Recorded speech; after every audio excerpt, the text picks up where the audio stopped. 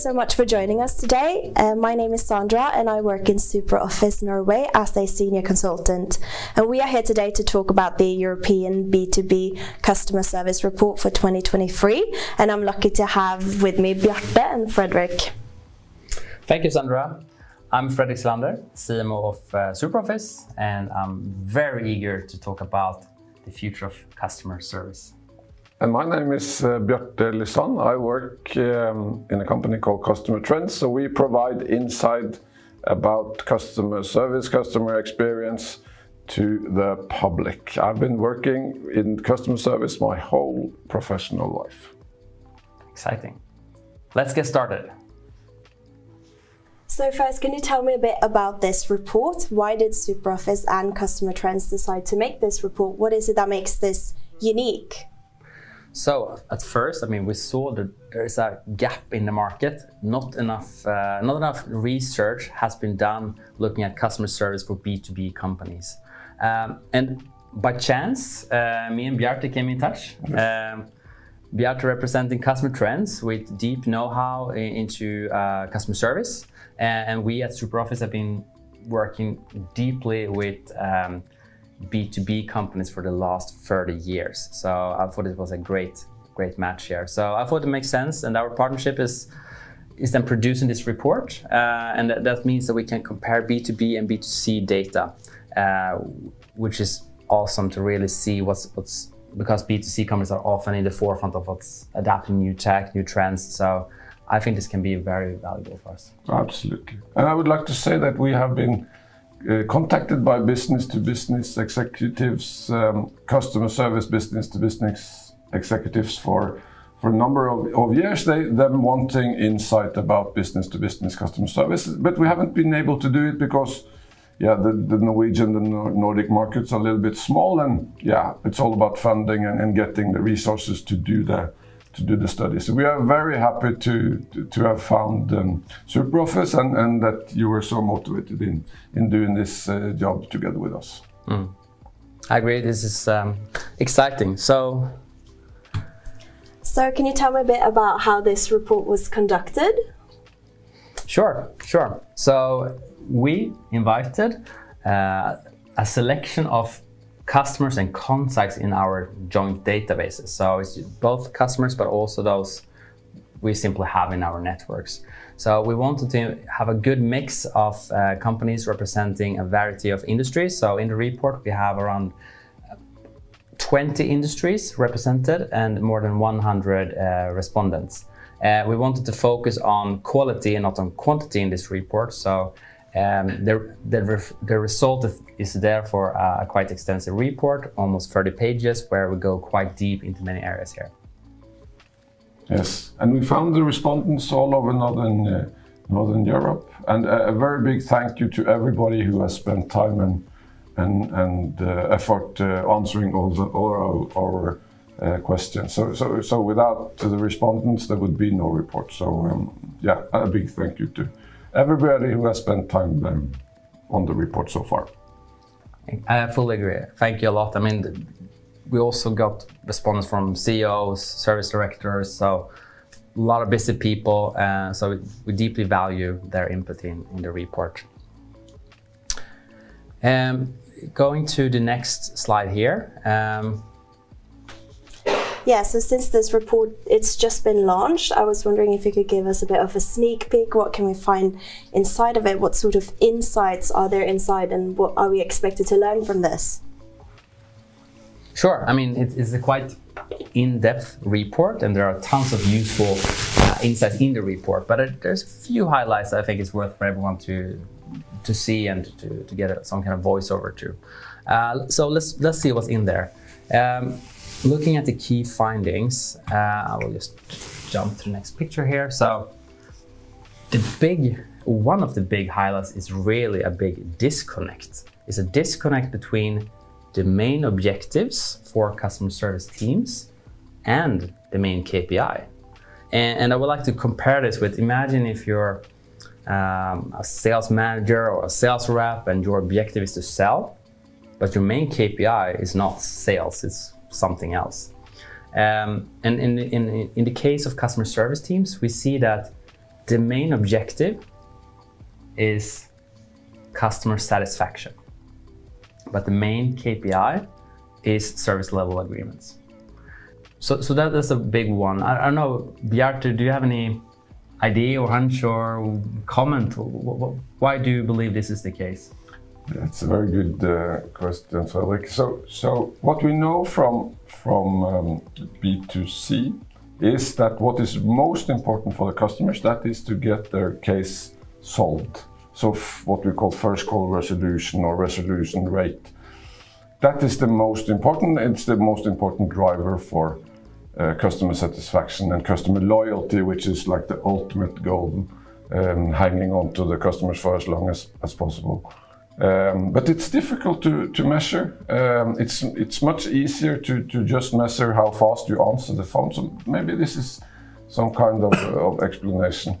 Um, but there is a potential here. I, I, I, truly believe that there is potential to to take a broader look on the on the KPIs, not only look on on the on the answer speed the rate, but to look mm. on what is happening in the call and how satisfied are the customers with the with the call and how you you solve the, the case. It's also quite interesting to see that 16% don't even measure customer satisfaction. Um, and, and, and that's a quite big thing. I mean, at the same time, we see that the most popular way of measuring customer satisfaction, as an example, is by using email. So, the let's say the the barrier for entry or to start doing it is not as high. You don't need any advanced tools or something. But I don't know, Bjarte, do you have any idea why this is the case? Or is, is, does this differ a lot for B2C companies? Absolutely. It's a very big difference. So, so my hypothesis is that it's all about the how you how you, you um, uh, how the dialogue with the customer is. So a, a lot of companies they have a contact person um, and, and other companies, of course, have a, a, customer service team. So maybe we don't measure the satisfaction with a contact person the, the same way. Um, it's a speculation, but um, but to, to know why your customers are, are, are satisfied and how satisfied they are is extremely important in in B2C. So so um, yeah, one should imagine it's also very important for the B2B customer service centers. So uh, mm.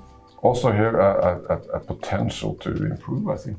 Yeah, uh, I agree. I mean, there's a, I would really recommend everyone to start measuring customer satisfaction because it's so important, especially in times like this when you want to achieve earned growth, meaning, I mean, you want to have happy customers recommending you, staying longer, buying more services, yeah.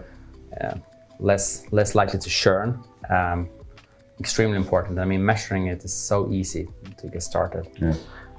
Also, one thing, if, if you also if you have a, a, ongoing survey, you can also get feedback back from customers that are maybe not happy that day or something went wrong in the interaction with customer service. So you have an opportunity to, to, to, to correct it and, and, and make the customer loyal and, and, and satisfied again. So without any kind of measurements, you are like left kept, kept in the blind. So so yeah, strong recommendation for us from us to, to measure customer satisfaction on a regular basis. So I guess that this finding isn't really surprising to anyone. We all hope to get help from technology, and customer service is really no different from anyone else. And many teams are actually looking forward to riding the wave of new tech to help satisfy customers. So hopefully this is actually a cost-saving tactic so that it replaces the manual processes with digitalization. So could you tell us a bit more about this? Sure. I mean, th this graph really highlights that there are two clear reasons for why you sh should invest in tech or why people, I mean, companies really invest in tech. And, and, and I mean, one thing being saving resources, um, saving money, uh, and, and that is linked directly to, to the C-level. I mean, that is, can we save cost, be more efficient? So that's a rational way of, of um, investing in tech, often a way to um, quantify the impact you're, you know, to, to, cover for the cost of buying or implementing new tech. What's very positive to see, I mean, that's a quite rational decision, but it's quite interesting to see that the majority, 59%, is actually investing in tech to improve customer satisfaction and customer experience, which is amazing to see because this is investing in the future, uh, as, as we mentioned in the last slide, that really, let's say, making sure that we keep customers happy so we can get have them stay longer to recommend more. So this is really about increasing revenue. So the one thing is saving cost, increasing revenue is actually the most important factor. Yeah. So is this uh, any comments to that, Bjarte? Yes, a very, very interesting question. So we, so we see that the new generation, um, uh, the young, uh, of course, uh, the young um, uh, professionals um, are much more accustomed to, to tech or new tech than maybe the older generation like, like me. So, so, so that development is maybe very natural. But to see that so many want to, to invest to improve customer satisfaction is, is yeah, it's very it's interesting, it's, it's, it's thrilling, and I, I, I get, guess the battle about the future customers will be in that area. Uh, where you provide solutions that can can um, enable the, the customers to be more efficient to to to help themselves maybe. Is this something that you believe is different in the B2C sector? The answers? What it yeah, and I have I have data from from the, the Nordic uh, markets, and, the, the, the, the trend to invest to improve customer satisfaction is even higher, driven of course by the young generation who is who is uh, yeah linked to their phones in a, in a way that yeah my and I and my generation mm. uh, never have been so so putting self service solutions into the to the to the smartphones is, is absolutely super important mm. for B2C customer service organizations. Interesting. Talking about new tech, um, when we looked at the B2B market, um, we couldn't really see a, a chatbot revolution. Um, a couple of years back, this was really a hot topic. Um, but we could see that, I mean, less than 20% claim they will invest in a chatbot until 2025. Almost 30% have already or will invest in a chat with a human person. Uh, and, and I mean, the remaining 50% may claim they will not invest in, in, in chat at all. Mm. Is this, um, is this uh, what should I say? Is it um, huge difference as well from the B2C sector, or did this was this a shocking result? Yeah, yeah, yeah. I, th- I, think a little bit because so the, so the biggest tsunami right now it's of course called Chat GPT. If you, if you have a webinar or a course with Chat GPT in the in the headline, then it will be sold out in in no time. So everybody is very curious. Everybody has tested it, and it's it's possible to like see the, the huge potential, but without enabling a, a, um, a, a, written dialogue with, with the customer, so a channel for written interaction like like um, like chat, it's difficult to harvest the, the, the, benefits. So my, my, my expectations was that this would be much higher. Mm. Um, but as a yeah, small business consultant company um, uh, person myself, I see that a lot of my suppliers don't offer that kind of solution. So so um, yes, it's a big difference uh, towards the B2C mm. uh, uh, market. Maybe it has something to do with the, the, the investments, the complexity, the, the, the, things you have to do to succeed with a chatbot. But mm. uh, yeah, uh, I was surprised to see. Could, could it be the case that I mean, in, in the B two B world, that the products or services that you sell is maybe more complex and more tailored solution that needs a human being to actually yes. solve issues or yeah maybe and, and this is maybe uh, talking about something we will talk about later but but the chatbot interacts very nicely with the web pages mm. and we see and we will see later that the web pages are, are important so so mm. it's a little bit, yeah, already now. exactly, announcing here. So yeah, so it, this is a channel that is actually growing in popularity, and it's not as trendy. We don't hear that much about it in comparison, uh, and it looks like the website is just becoming a really important service channel for many European B two Bs. And why do you think that is? Is this a trend that it does seem to be quite far behind the B two C market? Why do you think that is the case? Hmm.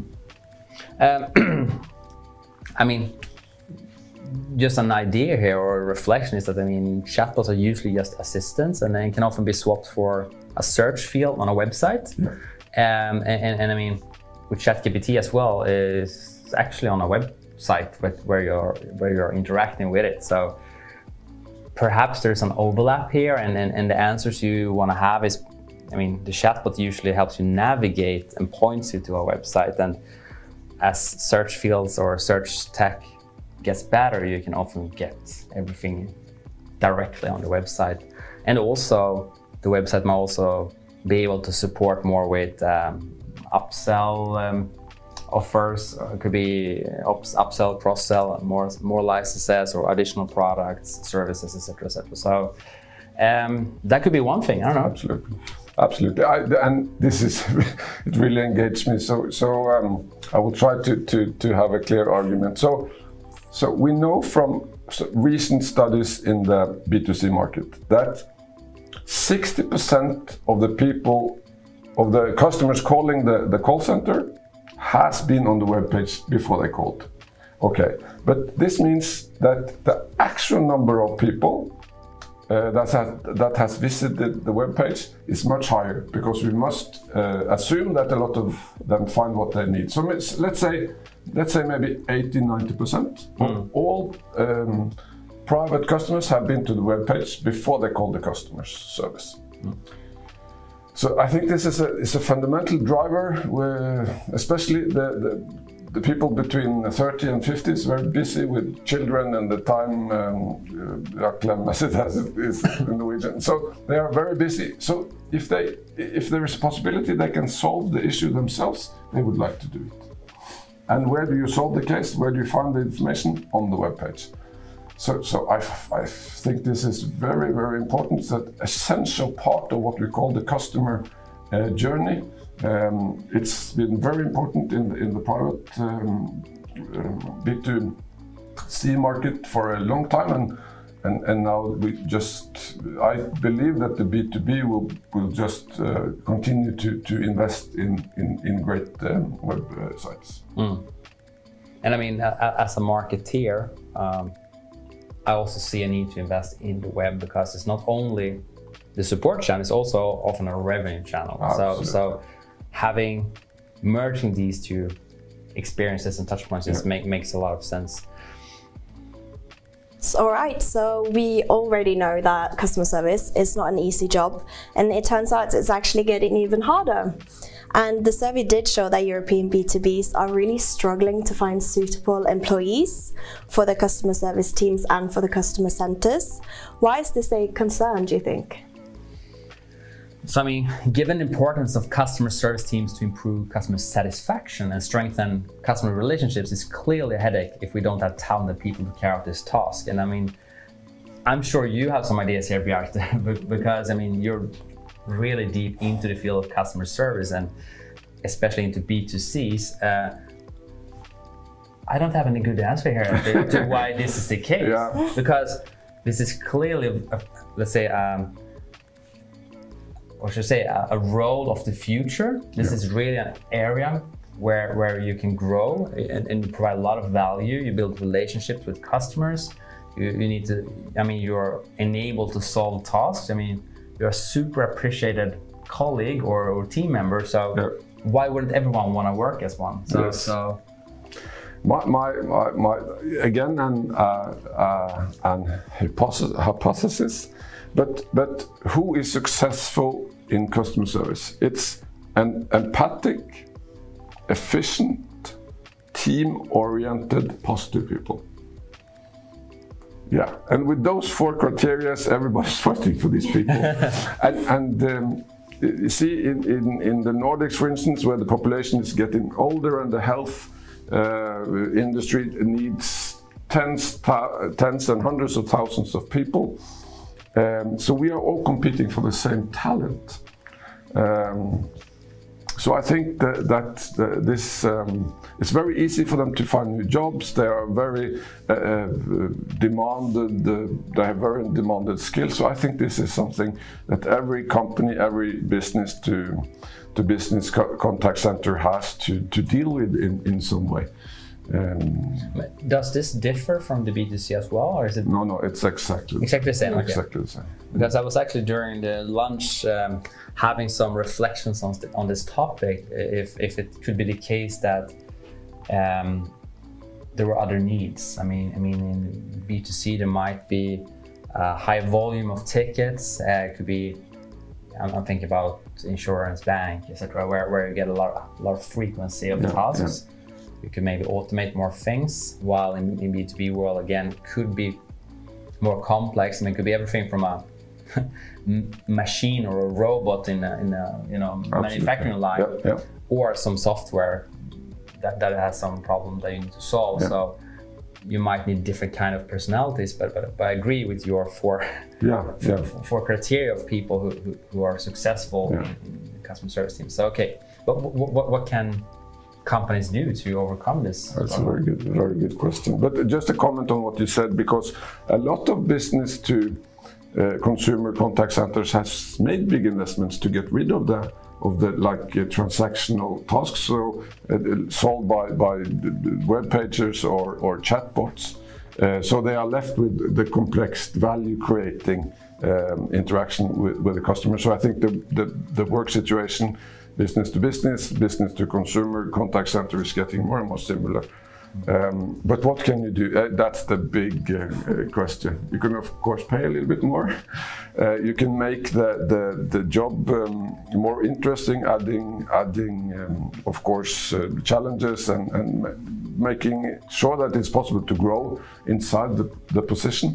Um, and uh, but something I'm I'm very concerned about, or yeah, it's deep to my heart, is that you don't you ma- must make sure that the, the, the best people isn't placed in projects or in offices. You need to have the best project thrive and grow in interactions with the with the customer. Um, so so job design and hard uh, work over time. I think that is the key here. So, customer service is essential for building lasting relationship. I mean, that certainly comes as no surprise to us at SuperOffice, but it is really great to have it confirmed.